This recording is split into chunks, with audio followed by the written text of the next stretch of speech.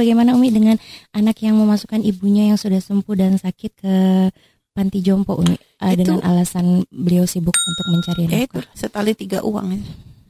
ibunda kita nggak ada waktu kita kecil repot langsung nitipin kita ke panti asuhan. Hmm. kok bisa?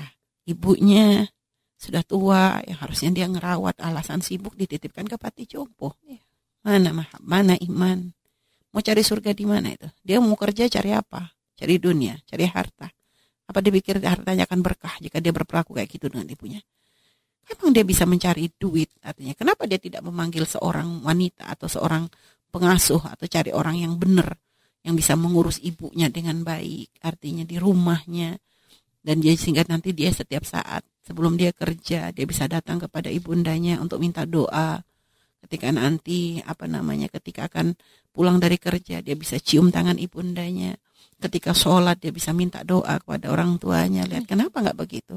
Itu ibunda subhanallah. Makanya kata Nabi kan sungguh celaka. Nabi katakan celaka celaka celaka.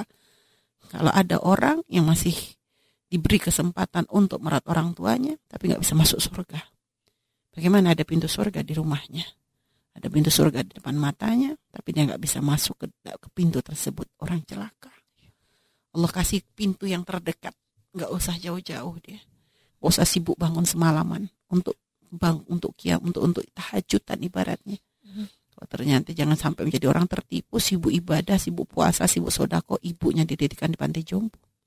Kecuali kalau ini panti jompo ini misalnya khusus kayak pondok yang memang di situ spi, apa masalah keagamaan ibunda tuh terbimbing. Hmm. Misalnya ada tempat khusus kayak pesantren untuk orang sepuh-sepuh di mana nanti di situ ibadahnya bagus supaya nanti ya namanya ibu karena mungkin dan itu pun bukan karena kita niat ngebuang. Hmm. karena mungkin kita sibuk kadang sehingga ibu sering sendirian kalaupun kadang ya ditinggal karena kadang ya akhirnya menjadikan nggak bisa maksimal. Dan kita tempatkan pun di tempat yang kita yakini ibu anda tuh benar-benar mendapatkan perhatian. Karena misalnya ada pondok khusus yang di mana e, ibunda kita dipegang oleh yang memang orang khusus gitu misalnya seperti itu. Hmm. di mana di situ diberikan perhatian terus diajak zikir sholat apa semua.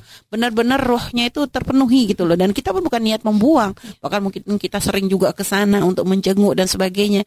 Jadi kalau memang seperti itu lain cerita. Tapi kalau ini ditaruh di panti jompo jenguknya kadang setahun sekali nunggu lebaran eh syada dari mana itu? Mana cinta? Nggak masuk akal. Nggak mungkin. Kalau anak mas nggak masuk akal. Nggak masuk akal ya kayak kita kalau ngelihat ada ibu nitipin anaknya di panti asuhan di saat sebenarnya dengan alasan sibuk kerja gimana coba tanggapan kita? Sama ini. Itu ya artinya maaf kalau ada cinta nggak akan mampu nggak akan mampu orang berlaku seperti itu. Jadi kalau sudah cinta dicabut dari hati yang artinya ya dia memang sudah nantang Allah. Yang mencari murka Allah dengan berbuat zalim kepada orang yang paling berjasa dalam hidup kita orang tua naudzubillah. Semoga semoga semuanya dijaga oleh Allah ya. Semuanya semuanya dijaga oleh Allah. Jangan sampai kita menjadi anak yang durhaka kepada orang tua kita dan hati-hati. Mungkin kita bisa pakai hujah membela di depan mata tapi Allah Maha tahu. Allah melihat apa yang ada di hati kita, ketulusan kita kepada orang tua kita. Allah tahu. Jadi seperti itu Allah alam bisawab.